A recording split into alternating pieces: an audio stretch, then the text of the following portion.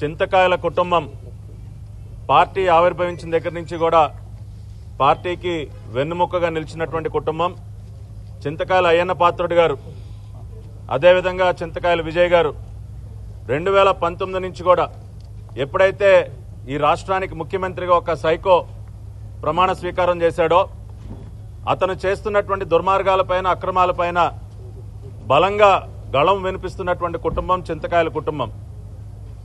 వెనుకబడినటువంటి వర్గానికి చెందినటువంటి ఒక బలమైనటువంటి కుటుంబాన్ని ఉద్దేశపూర్వకంగా టార్గెట్ చేసి పదే పదే ఆ కుటుంబం పైన దాడులు చేస్తూ తప్పుడు కేసులు పెడుతూ అయ్యన్న పాత్రుడి గారి పైన అనేక సార్లు అనేక రకాలైనటువంటి తప్పుడు కేసులు పెట్టడం అర్ధరాత్రి పూట వాళ్ళ ఇంట్లోకి తలుపులు బద్దలు కొట్టుకుని వెళ్ళటం గోడలు కూల్చడం ఇటువంటి దుర్మార్గాలు ఎన్ని చేసినా కూడా ధైర్యంగా నిలబడినటువంటి కుటుంబం చింతకాయల కుటుంబం.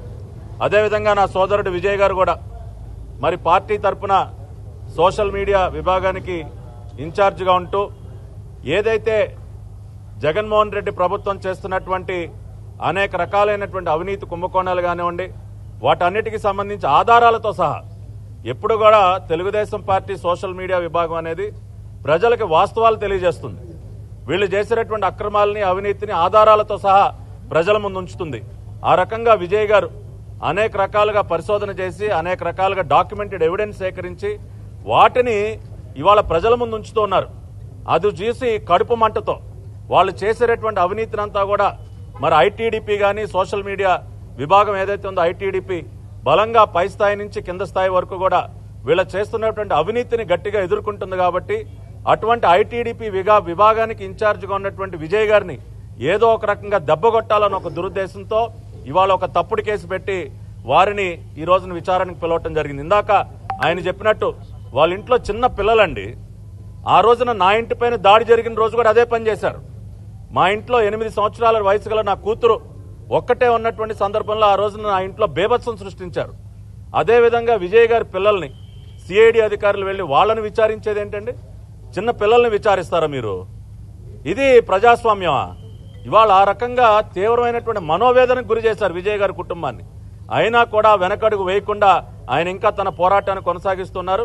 ఇవాళ మేమందరం కూడా ఇవాళ మా సీనియర్ నాయకులు మాజీ మంత్రివర్యులు దేవినేని ఉమామేశ్వరరావు కానివ్వండి ఇవాళ గుంటూరు సీనియర్ నాయకులు మరి కోయల్మూడి నాని గారు కానివ్వండి ఇంకా చిట్టుబాబు గారు కానివ్వండి మా ప్రభాకర్ గారు కానివ్వండి ఇంకా అనేక మంది ఈ రోజున వారి కుటుంబానికి సంఘీభావంగా మేము ఇక్కడ రావటం జరిగింది. అన్ని రకాలుగా ఫేస్ చేస్తాం.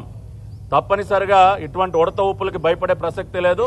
అన్ని రకాలుగా చట్టబద్ధంగా న్యాయబద్ధంగా ఇవాళ ఈ సైకోని ఎదుర్కోవటానికి సంసిద్ధంగా ఉన్నాం. ఒక కుటుంబం లాగా అందరం ఏకతాటి మీద వీరందరినీ కూడా ఎదుర్కొంటాం. ఎన్ని రకాలుగా హింసలు గురి చేసినా. ఇవాళ మా దారపునే నరేంద్ర గారు ఉన్నారు ఇక్కడ. గుంటూరు జిల్లాకు చెందినటువంటి స్టేట్ మీడియా కోఆర్డినేటర్. ఆయన ఏం చేశారండి? సిఐడి కార్యాలయానికి తీసుకెళ్ళి ఇదేనా మీరు చేసేది. నిన్నేదో అవినాష్ రెడ్డి ముసలి కన్నీరు గారుస్తా ఉన్నాడు. ఏదో వీడియో పెట్టాలి ఆడియో పెట్టాలని చెప్పి. ఏమైందా? నీ సిఐడి నువ్వు పెట్టావు వీడియో? నువ్వు పెట్టు వీడియో చూస్తాం. లైవ్లో చూపించు నీ సిఐడి అధికారులు ఏమడుగుతారో? అంటే నీకు మాత్రం అవన్నీ గుర్తురా మీ వరకు వచ్చేసరికి అవన్నీ చేయరు. మీరు మాత్రం చిత్రహింసలు గురి చేయాలి సిఐడి కార్యాలయంలో. ఆఖరికి సీసీ కెమెరాలు కావాలని కూడా మేము కోర్టు మెట్లెక్కాలి. నీ వరకు వచ్చేసరికి నువ్వు ఏడుస్తా ఉన్నావా? సొంత బాబాయ్ని అడ్డగోలుగా నరికి చంపి నాకు వీడియో కావాలి ఆడియో కావాలి లాయర్ ముందే మాట్లాడతాను. ఇవాళ ఒక లాయర్ సహకారం కావాలన్నా మేము కోర్టుకెళ్ళి తెచ్చుకోవాల్సినటువంటి పరిస్థితి. మీకు మాత్రం వర్తించు అవన్నీ కూడా. కాబట్టి ఇవాళ ఈ వాస్తవాలని ప్రజలు అర్థం చేసుకుంటున్నారు అన్ని రకాలుగా చింతకాయల కుటుంబానికి మేము అన్నం కూడా అండగా నిలబడతాం. అన్ని రకాలుగా ఈ సైకోని ఎదుర్కొంటాం.